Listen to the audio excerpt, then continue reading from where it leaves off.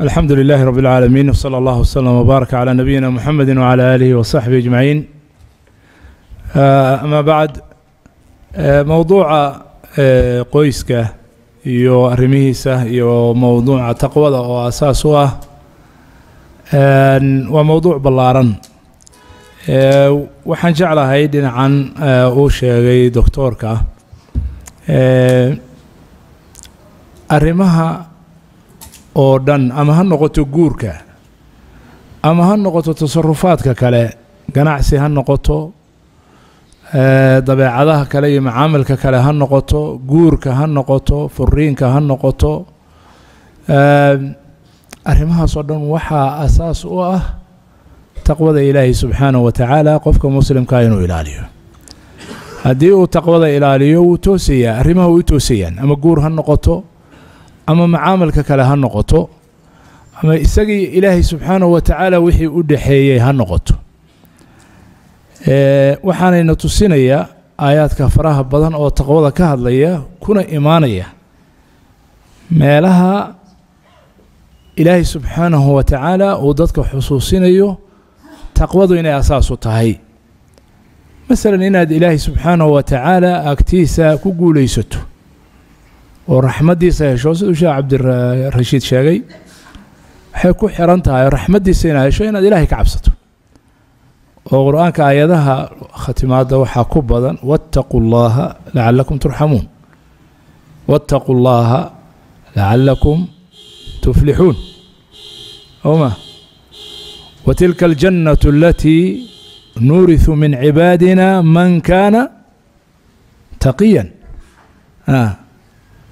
balaa man awfaa bicahdihi waataqaa maxabadii ilahay xataa maxaa lagu helaya faina allaha yuxibu اlmuttaqiin ganacsigii iyo markaad ku jirto tijaaradii iyo ribada iyo xaaraanta iyo waxyaalaha waaweyn lagu leeyahay iska ilaali. Yaa ayuha aladiina aamanuu itaquu llaha aayaddii sheekhu inoogu bilaabay.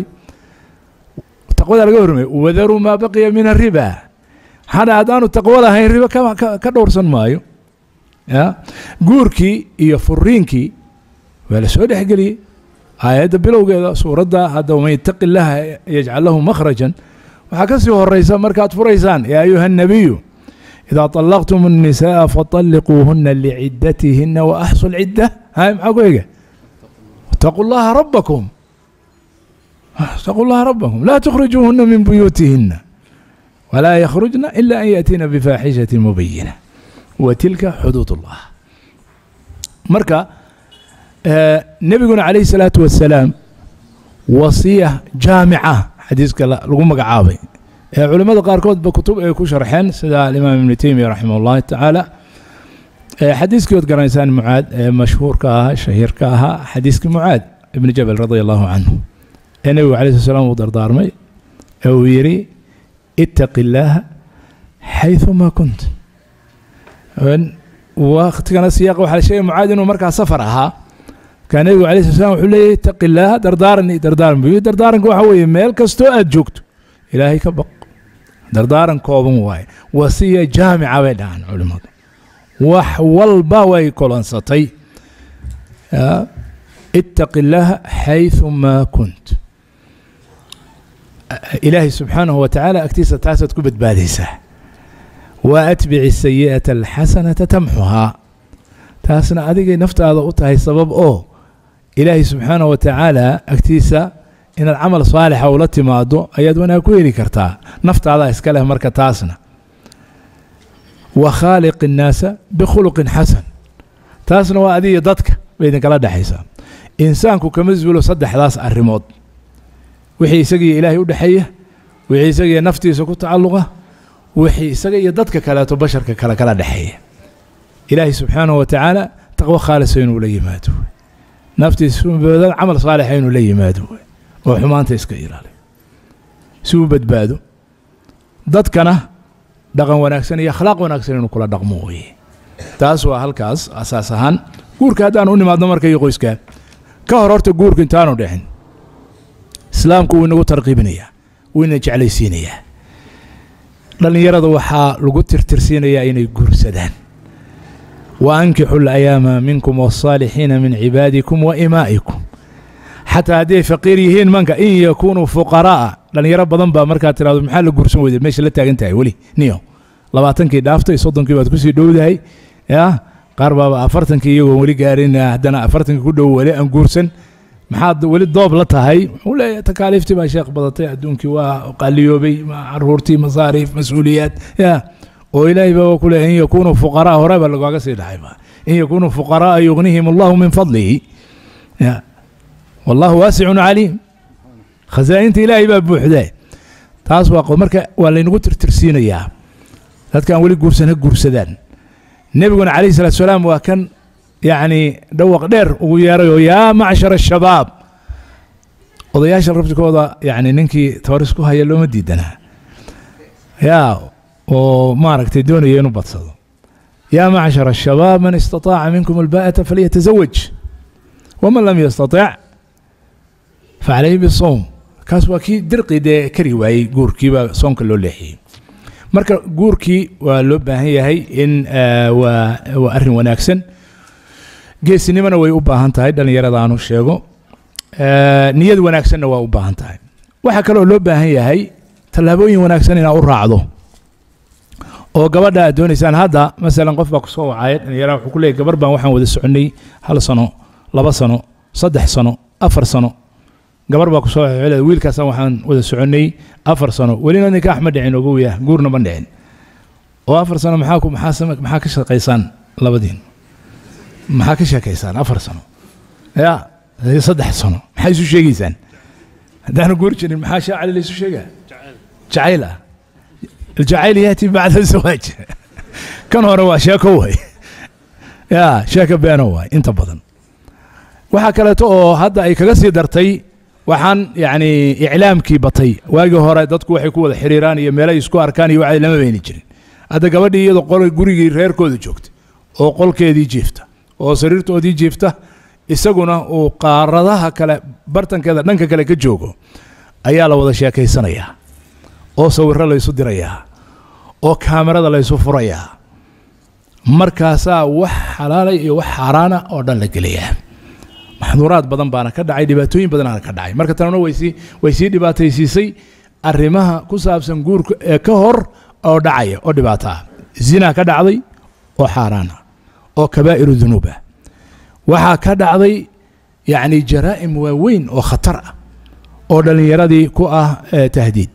Waxaa kaleeto oo ka mid a waxyaalaha ka hor in layska ilaaliya ay tahay yani si aan loogu dhicin arrintaas guurka waa inu waddo fiican u maraa waddadii lagu sheegay oo gabadhiisaan ku helaya haddaanan jeclaan buu ku leeyahay ya gabadhii sidaan ku arkaya. Gabadha waad arki kartaa waa ogaan kartaa inaad aragto ru'ya sharciyana sharciga islaamkaaba kuu ogol oo aadan gursan inaad iska aragto wejigeeda aragto inta sharcigu kuu baneeyey aragto ehelkeeda weydiiso dumar u dirsato asxaab u dirsato qaraabo u dirsato dad u dirsato warkeeda waa heli kartaa. Haddii markaa damac kaa galo waddadaas u maroo reerkeeda ka doono.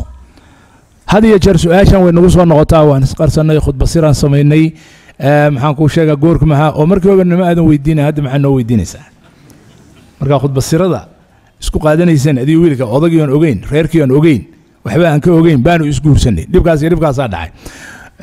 Waxaa igu darnayd maalin dhoweyd gabar baa waxay soo qoraysaa waxay leedahay waan murugaysnahay waan dhibaataysnahay haye ninkiibaa ifurila wuxuuna igu noqday nin xun oo dhibaato badan oo maaragtay mashaakil badan markii wax badan igu soo celcelis. Haye oo markii hore markii horena reerkaygo aan ogeyn iyo iyagoon laga ogeyn baanu isguursanay. Markii dambena hadda wuxuu ileeyahay kuma furaayo markii uu igu xumaaday. Waan la yaabay dumarkan waxaan ilaahay subxaanahu wa tacaala maalin walba aan ku sii ogaadaa arrimahaas. Xikmadda ilaahay subxaanahu wa tacaala weliga ugu xiray nikaaxa shardiga uga dhigay. Inaan gabadha la nikaaxin ilaa weligeeda og dumarku aad iyo aad baa loo khiyaami karaa waana masaakiin. Gabdhuhu ha ogaadaan taas. B h d xataa hadday haysato iska dhaafbaada waxaad sheegaysaa shahaado iskuul iyo waxaas. Ya b h d isagoo shahaadooyinka iskuulka jaamacadaha laga qaato uguma sarrayso. Hadday wadato miskiin waay waa la khiyaami karaa. Marka yani shahaadada shahaadada weyn hadday wadato xataa. Waxaan ka wadaa gabadha hadday xataa tacliin sare leedahay waa la khiyaamayaa